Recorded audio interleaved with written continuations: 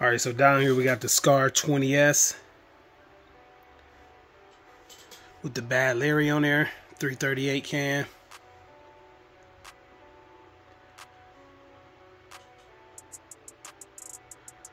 Got the little mag in today.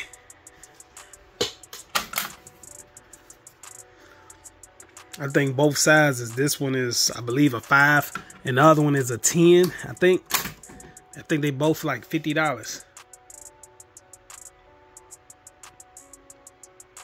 We're gonna be changing this, doing the update on this uh, scope on the top. This is a what is it? A Sig? I think it's a Sig scope, three to twelve by forty-four. Um, I think I've seen uh, right Wrightson got a five to twenty-five by 50 so I'm gonna go with that on there and I'll throw this on something else but I want to check out uh I want to try the bad Larry out on this it's a little bigger can than the R2 so I don't know if it's gonna be quieter but I just want to see we tried this with subsonic ammo well that brand that I had it didn't work and to adjust the gas is in right here then we got the AUG up here.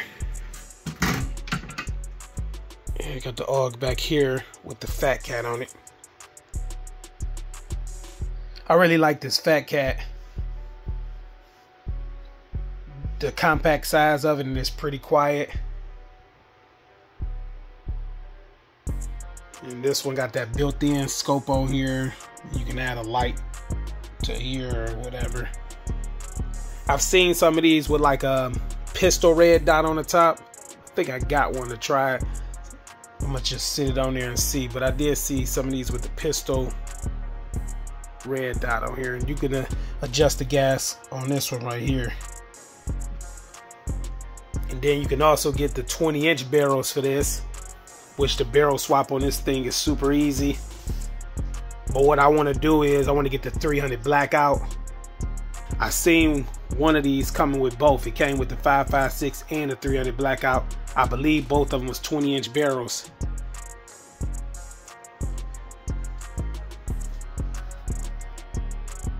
And this is already a compact setup with this bear on there. And then with the Fat Cat, it ain't stupid long. But this reticle in here is uh, kind of big. And at like 50 or 100 yards, that circle, it kind of covers your whole target. So I really don't like that, but it's cool. Some of these models come without this. Only thing, this is quick disconnect up here. Only thing I wish I could change or I wish was quick disconnect is this part right here. I wish this was quick disconnect. Cause I want to use my sling. But you could take that out, but I'm gonna just see if it's some type of like I can use my sling but it won't be quick disconnect back here so I probably will do that have it just connect up there and then back here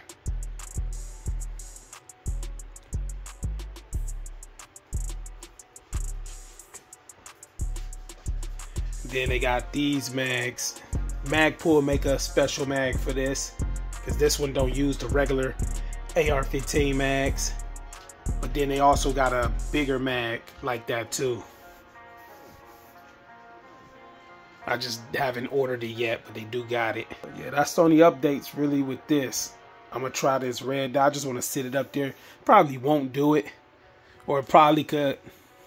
You know what? Probably could have it offset.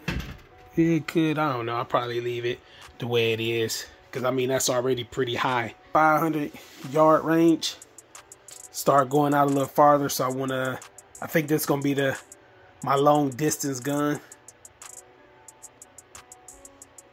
These also come in 6.5 Creedmoor. This one is in 308. You could probably buy different barrels, but the gun costs so much by itself. I can only imagine the barrel may be half the cost. I don't know.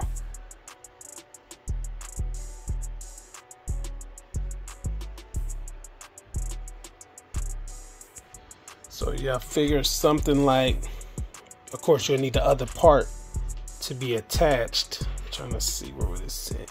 But Like a red dot. I, I don't like the way it looked now. Thinking about it, kind of remind me of how the um that top mount on the PS90 is. So maybe in the front, but I don't know how that. Uh, I have to have it, you know, not in the back. I didn't like it in the back. Maybe the front. But even if you got the mount to put it on the side, it will be something like this. So maybe the side would be better. Because that might be too far. And get a little offset mount and it'll just come off like that. So that might be something I can try. Zero this for a farther distance, then have this up close. You can get you a good light right here. Or here, I don't know why they got this right here anyway but maybe there for a light because it's easier to get control where your hand is. Yeah, I don't know why they got all this other stuff on here. But I guess it was better to have it and not need it than somebody want to utilize that rail space and then don't have it. But yeah, that's what we probably do is put an offset. I thought about doing one on here also.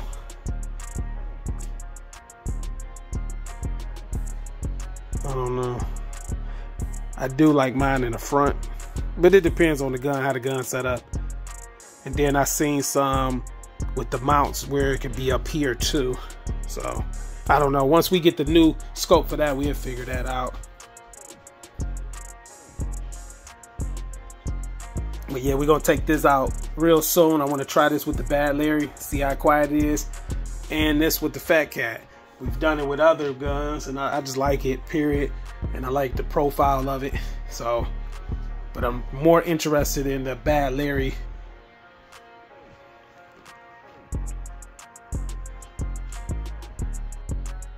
Side by side, the Bad Larry is a little longer and is a little wider. And I think the Bad Larry got a baffles in it also. I see your motivation, I see your movement is in effect. And I fucking love that shit. Let's get it.